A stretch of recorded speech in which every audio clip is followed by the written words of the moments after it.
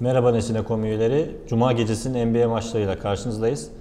Hemen 780 kodlu ilk maçla başlayalım. Ee, Milwaukee Bucks Atlanta Hawks'ı konuk edecek e, bu maçta ve 4.5 sayılık bir handikap ev sahibi Bucks'la yine açılmış durumda iddiada ve 208.5 sayılıkta bir e, sayı limiti var bu karşılaşmanın.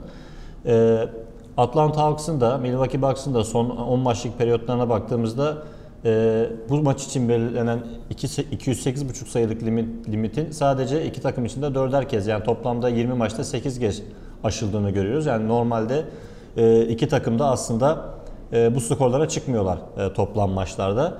E, özellikle Milwaukee Bucks Milwaukee Bucks takımı deplasmanlarda hani çok sayı yiyebilen bir takım olsa da iç sahada e, o kadar e, rakiplere sayı imkanı tanımıyorlar. Bunun yanı sıra Atlanta Hawks'ın da son maçlarda bir düşüş periyodu var.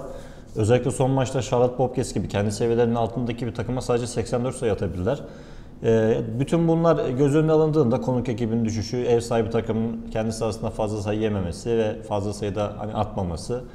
Dolayısıyla hani bu maçta e, bu e, şartlar içerisinde ben alt tercihini öneriyorum. Hemen diğer karşılaşmaya geçelim. 782 kodlu e, Denver Nuggets Miami Heat mücadelesi. E, bu maçta ev sahibi Denver Nuggets'ta yine 2.5 sayılık bir handikap var ve toplam sayı limiti de 193.5 olarak belirlenmiş durumda. E, Denver Nuggets son maçta Golden State Warriors'ı yenerek büyük bir sürprize imza attı. E, üst üste iki maç kazanmış oldular bu sayede. Gerçekten bu onlar adına önemli başarıydı. Yani bu bütün sezonki gidişatlarına baktığımızda. E, Miami ise uzun bir batı deplasman turunda 6 maç üst üste oynayacaklar. E, bu serinin 4 maçını oynadılar. Bu 5. maç olacak Denver deplasmanı. Ee, ancak ben e, Golden State Warriors'da e, o Denver Nuggets maçında e, Draymond Green oynamadı. O savunmanın önemli bir oyuncusu. E, onun ihtiyaç e, yokluğunu hissettiler. Savunmada özellikle düştükleri hatalar onlara maçı kaybettirdi.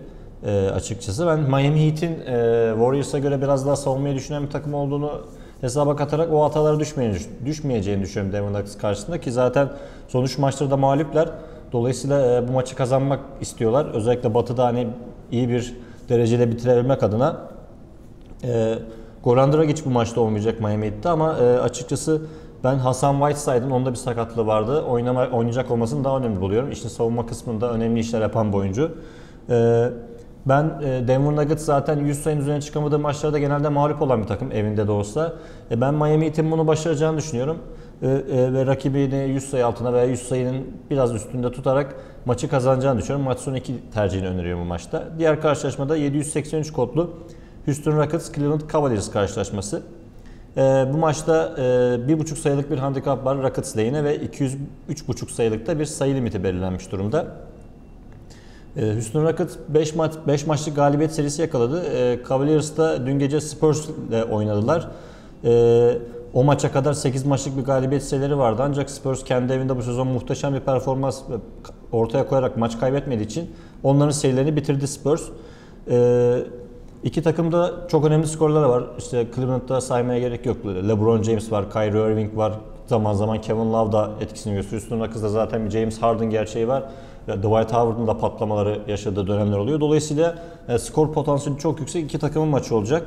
İlk Houston Rockets'ın savunması için e, son dönemde çok şey söylenebilir. Yerlerde geziyor gerçekten.